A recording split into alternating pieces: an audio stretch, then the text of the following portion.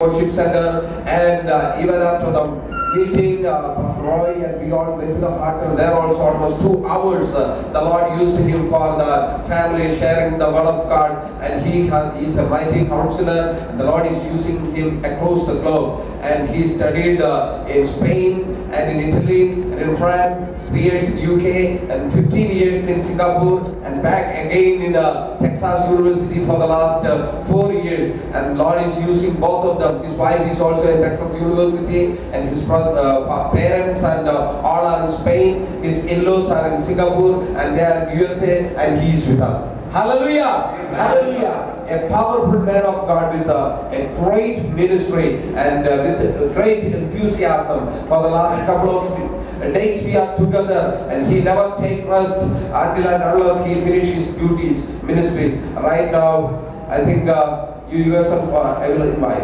Uh, right now, on behalf of the ARC, I welcome Dr. Hector Ramos. Please come forward and please come to minister. And uh, we will, we will close at 8.25, please. Thank you. Thank you. Since I have come here, we always have an issue with time. I'm so glad that my God is the God of eternity. Amen. I usually take about one hour to preach, and uh, sometimes I go one hour, 20 minutes. But people enjoy it, so, and those who not, do leave politely. uh, thank you so much for that wonderful introduction. I have to confess uh, something to you, and that's that uh, even though I've been called a doctor over the last three uh, uh, days, uh, like 200 times, the fact is that uh, I'm still in my last year of my PhD. Uh, I passed, I passed my prelims, first exam, now we have the methodology, second exam, and then we'll have the defense next year. Now, I, I received this thing about reverend and doctor all that prophetically because I need God's help for this to happen. But I have to clarify something with you, is that uh, even if I had three doctorates, it doesn't mean a thing. Because one could be in petroleum engineering, the other one could be mathematics, and the third one in sociology. So what am I doing here with those things? You want to know about petroleum engineering? so the question is, what is the credibility that I have here to speak with you? I, I only have one thing, and that this is the thing, that I've received certain invitations from people from this part of the world. And I am into missions. I have nations in my heart. You invite me tomorrow, I go. But then I have to submit to God. I have to tell God, God, you tell me where you want me to go. Because it is, there's a cost involved, there's a price to pay when you go to a place. So there was a moment where I received some finances, and then I got his invitation. And then I asked God, God, do you want me to go this time? He said, yes, go. I don't, myself, I don't like to go to a place for four days, that from Texas to Dubai, four days only. I prefer two weeks. That is my, and if you talk to a lot of pastors, they will tell you the same thing. It makes sense. That's what they do. But I said, God, I will do it for you. So if I have any credibility, is that I know that God has sent me to speak this word to you. That's the only thing. And if you receive that in the Spirit, you will be blessed. Because Jesus said, the same way the Lord that my Father has sent me, I send you. He just didn't mind what the price he had to pay to get to places. I'm so glad that our brother shared this um, testimony, preaching, and exhortation. because that's what the Lord was telling me about to share, about peace. So this is a confirmation. Amen. But first, I want to share one thing with you. I want to share certain parts, certain gems. The first one is this. It's a prophetic word for you. Shyness will not get you anywhere. If you want to do the will of God, you have to break the chains of shyness. Now, if you are shy, the way to do, or you are intimidated by people, the way to do it would be ask God for boldness. Because Many people in the past, they had the same problem. So what did they do? Just pray. We all pray, God, give us boldness. But give us boldness to do what you want us to do. Alright? That's number one. Because you're going to need the boldness to do what God is calling you to do. And what is that? To break from your cultural identity and step into Cornelius' house. What is Cornelius' house? Cornelius' house is an uncomfortable place. Why? Because they have a different culture. They could come, they could be from Africa, they could be from the Philippines, they could be from many other nations. You have them everywhere. They could be Russians. And you need to step into the household and to bring the good news. And expect the Holy Spirit is going to fall. Okay? So this is, this is the commissioning for you. Because God wants to do through your generation something that other generations have not been able to do. To show that He is the God of nations. And He says, I want them to be one. It's very difficult for people to be one if they don't know how to relate to each other. So you may need to learn how to relate to each other here. If you are in the art, it's, uh, the art is called an uncomfortable place. Okay, you just take a cruise for 40 days and then see, but don't take the most expensive, just get a small boat. And then you will find that it's an uncomfortable place. Now, you go with some friends and then see how you share your experience. Usually, when people go through uncomfortable things, they get on each other's nerves. It's like, where do you put the water? What do you do? A lot of people just get irritated when they go under this type of things. What? That's what happens in the church. But what we do is that we go meet together once a week and we say, God bless you, let me pray for you. We have very superficial relationships. Uh, but we don't want to repent of that because that is very comfortable. I told my church in Bryan, it is very comfortable because at a distance I don't need to deal with my issues and your issues. Because when I get close to you, you see my defects, I see yours. Yes, that's the problem. But we should not focus on the defects, we should focus on the strengths of each other, on the blessings. Because you have a talent, you have a faith, and we are here to bring that and be a blessing to each other, to, so someone can, someone else can get a breakthrough. I'll bring you some revelation today. From the book of Ephesians, it says, that the, the, the fivefold ministry, fivefold ministry that is apostles, prophets, teachers, evangelists, and pastors. What is the work? The work is not ministry. Okay, I have to say that again, so it will be ingrained in your mind. The fivefold ministry, ministry is not the work is not ministry. The work is training. Who does the ministry? The body of Christ. But they need to show how to do it. So if I'm an evangelist, I will evangelize and I'll bring you with me. And I will tell you, you see how I share? Now you go and do the same. If I'm a pastor, I deal with a pastoral issue and I say, well, you're you a pastor in training? Come and see how I do it.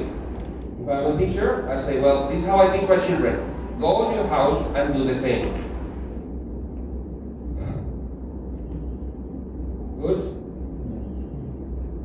You need to learn not because of what people say, it's because of what they do. You cannot see what they do if you don't get close to them. So, get close to your pastors and to your leaders. And ask them, what is the price you have paid? How do you do what you do? I want to do the same. Because that's what Jesus did. Uh, Jesus didn't wait like three years and then say, well, let's go and baptize because now you know a lot of theology. He said, well, you don't know a thing, but I'm going to baptize. But you join us and you baptize with me. Is it written that they baptized, that the disciples were baptizing with him? No, it's not written. Well, then read the Bible. Because it says that the disciples were baptizing people with Jesus. Jesus was baptizing.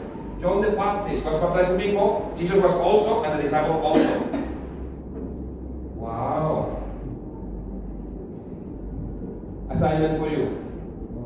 I like to give assignments because if you do the assignments, this what's the point of sharing a lot of work, half an hour, and then you do nothing? Assignment for you. read in the Gospels, just take at least one, take Matthew, and read, look for this. What are the disciples doing? Are they only listening? Are they people that going to church every Sunday and they're only listening, they're doing nothing? Or what are they doing? How are they learning? How are they growing? And the question is this Has Jesus changed the method? And the answer is no, he has not. I didn't mean to share this thing, but the Holy Spirit is telling me to tell you. Because he has a great plans for you. But you need to know how to grow in the Spirit. Good? This man, you're a pastor. Has anyone told you that you're a pastor? Nobody. But you behave like a pastor. So you pray to God. Because I can see that you have people in your heart. You have a great concern for people. And you really want to uh, them to experience what you have experienced. That's why you don't share your testimony with very little words. You just share it with all the passion. That's what your testimony becomes, becomes a sermon. And it happens every time. Because it's burning in your heart. Because you want to impart what you have experienced. You want people to know about. You want to, them to experience the same thing. That's called impartation. Okay?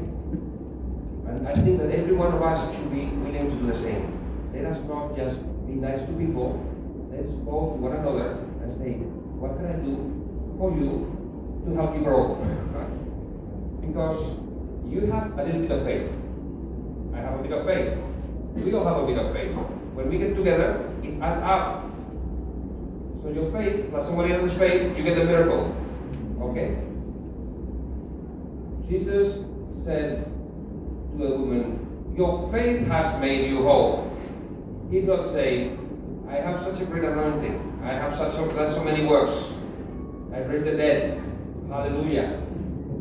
I have so much power. That's why you are healed. He did not say that. That's what a lot of pastors say.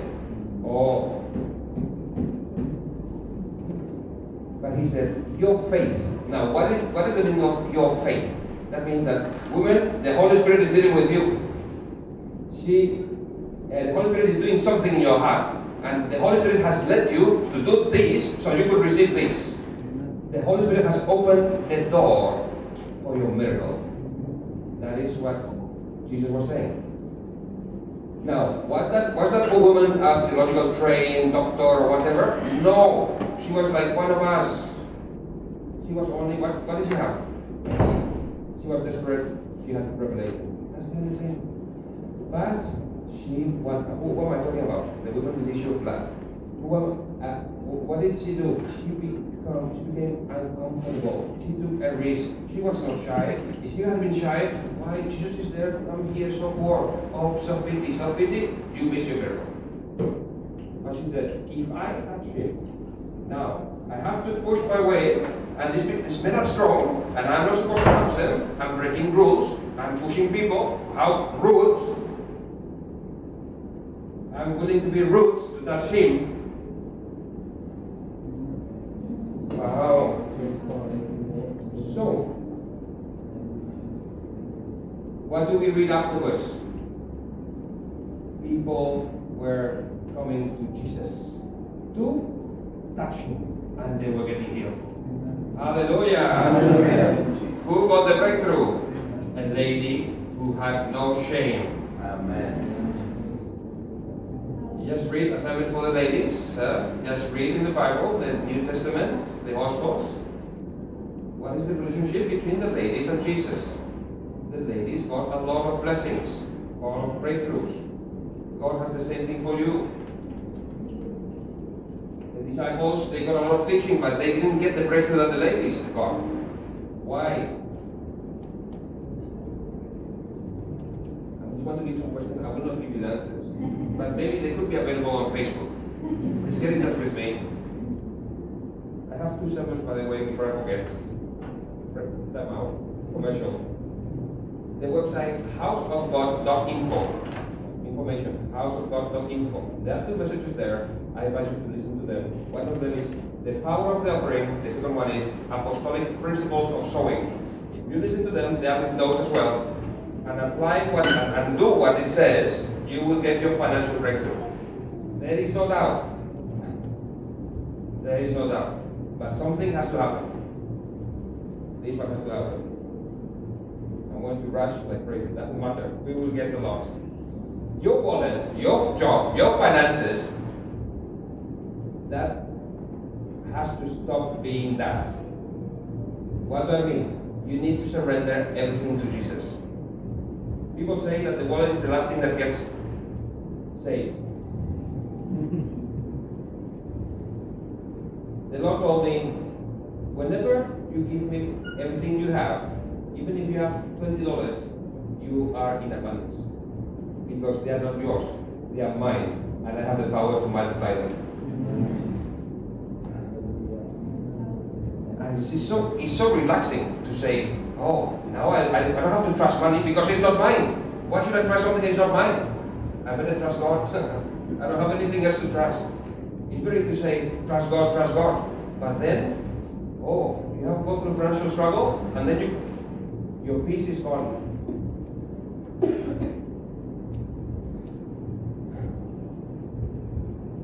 I believe that we are getting a lot today. I believe that. Okay, so there are two things to, uh, let's talk a little bit about peace. God wants you to know this, that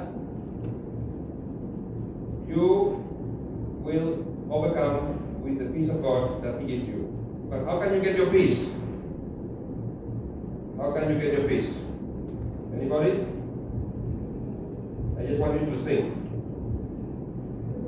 Think how you get your peace. Jesus says, I give you my peace, isn't it? Jesus is the one who gives it. So I just say, Thank you, Jesus, for the peace. See, there's some things that we think we have to do, like 60 days of fasting and prayer and all this. No, just like a little child. Jesus, I cannot do it, but you can. Uh, before coming here, saying, I did the same feeling. I cannot do it. I don't have a message, but you have a message. You give him a message. I have something I want to share, but I give you priority. You change the message. You do whatever you want, but you speak to people. So I know this, that one word from God will change your life. Amen. A thousand words from me will give you, give you the same. Okay. Praise the Lord, praise the Lord. Then we come to um, Matthew 8. Matthew 8. And what happens? That Jesus says, quickly, you don't have to go and read the whole thing, but, but just to remember that Jesus says, let's now cross to the other side. They take a boat. They, go, they want to go to the side, and Jesus says, let's go to the other side. That's the word, okay? That is the prophetic word. What is the prophetic word? What God has spoken to your life. So if God tells you, if God tells you, I want you to be a pilot, I want you to be a doctor, that is becomes a prophetic word. That is God's destiny for you. You need to know your, God, your destiny.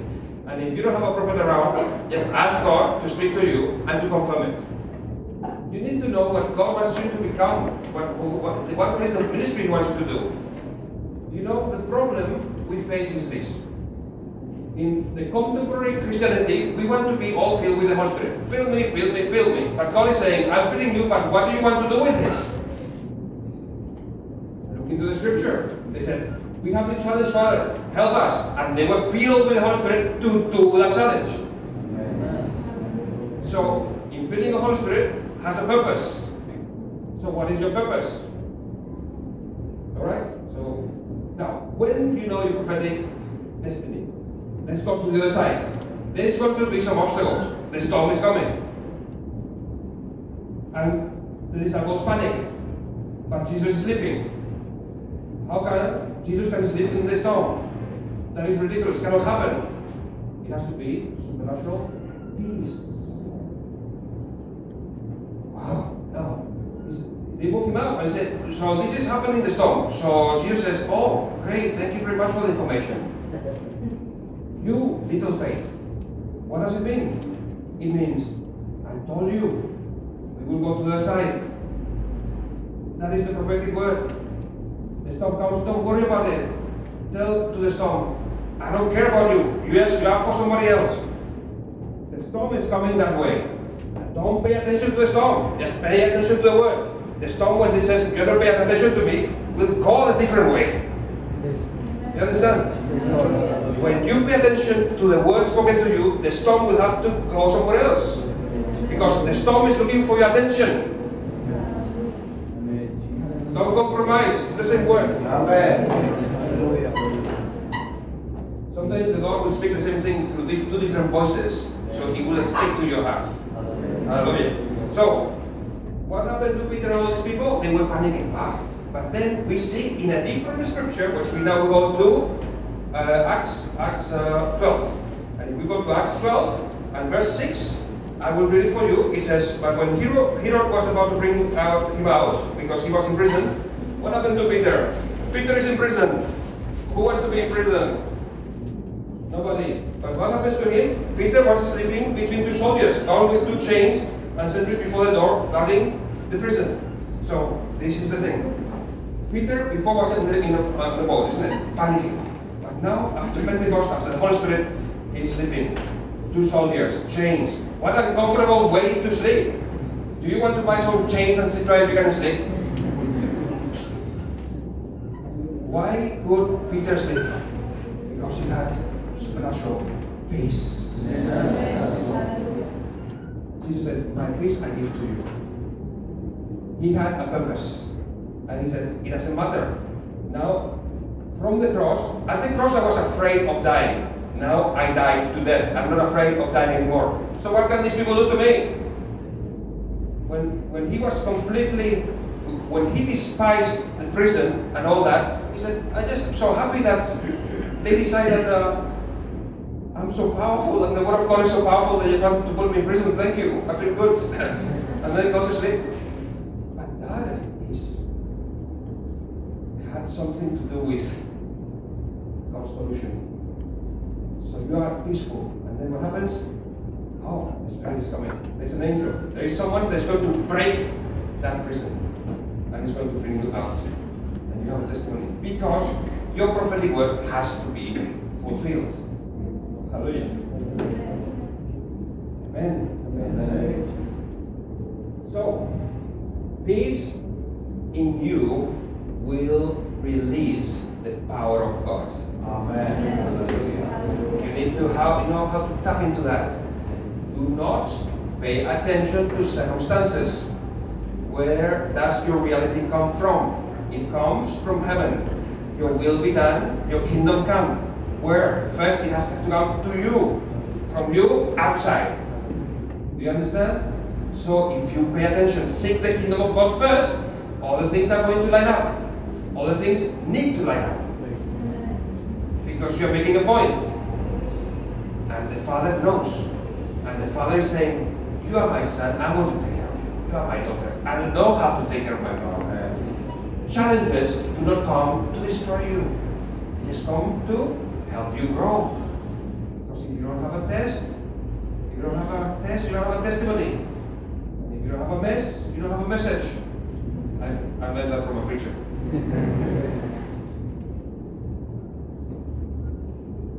Learn how to tap on God's presence, on God's word. When circumstances come, do not meditate on them. Like how I'm going to get the job. How, you, how am going. I cannot. I think I can get the job. You get three-hour meditation on why 20 reasons why you don't get the job. And then eventually you do not get the job because you prophesied this whole thing yourself. So meditate about, no, this one I'm going to get because God wants me to get it. So meditate about, God, you are so good. Yes, God, thank you so much. I'm getting it. I mean, that's, that's how I receive all these doctor things, doctor this, doctor. You think that I like that? I don't, uh, because that doesn't define me. It's not doctor this or that. It, I'm son of God.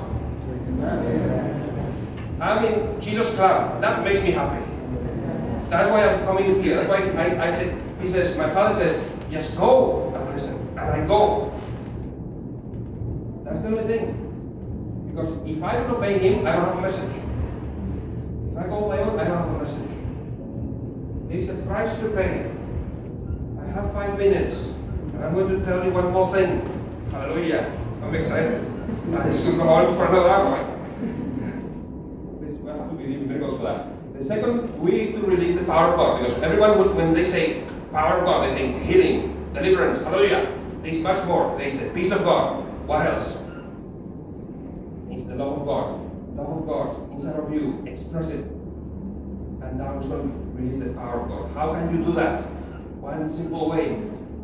Because you have decided at the beginning of the sermon that you're going to give the, your finances to God. Now, now, every time that you give something, you are not giving it. It's, you are giving it on behalf of God. It's not called spending, it's called sowing. When you give, you when you go to a restaurant and you give a tip, you don't give a tip. You sow a tip. Very good because that, that releases the power of God. He says that He will multiply your seed. Which means that if I'm going to a restaurant, and for instance, I buy a soup and the soup costs me five dollars, and I want to give a tip of ten dollars, then I tell the waitress, "This is for you. Can I pray for you? Because God will multiply this seed to meet your need." That woman is going to, or that man, that they are going to be touched. Because that day, I tell you, nobody bought something and gave a tip more than the, the what they bought. That week, nobody did it. That month, nobody did it. Use your money to bless people, to sow into people by prayer, believing that God, believing that God will multiply and will bless them. That is an instrument of love. It's an instrument of God's love. You don't give money, you give faith. You use that prophetically. I just give you this. Sometimes when I was prophesying for people, I prophesied, God is going to give you this, or God is going to give you a financial miracle, and all these things. And then eventually it says, God said, so what are you going to do about all these prophecies? So I get some money and say, and by the way, this is seed to get it going. you understand? Let's pray. I have 30 seconds. Father, in the name of Jesus, I pray for my brothers and sisters that have received this word of power, and I, Lord, have great expectation that they are going to put these things into practice, and that the peace of God is going to release your power so that the storm will be stopped, the, the prison is going to break. That when they love people by sowing into their lives, your Holy Spirit will bring that offering and will touch their hearts, and they will be open to the gospel. Let every single time that they sow a message from God, a message from you, because it's your money, Lord, it's your finances, but we are only stewards. So we sow them into them. We love them. We love them. Help us, O Lord. Help us, O Lord, to surrender everything, because we know that you will provide for every single of our needs. Father, help us to focus on your kingdom first, first, and that, that will transform how we see ourselves. We are messengers of the kingdom, and because that's where we best spend our time thinking and meditating and speaking about. Messengers of the kingdom. Let everybody here become that messenger of the kingdom that goes to Cornelius' house, to that family that looks different, that do different things, but we will bring a blessing there, and the Holy Spirit will fall upon that family. Let it be fulfilled according to your word, O Lord, as we have received this by faith in Jesus' name. Amen.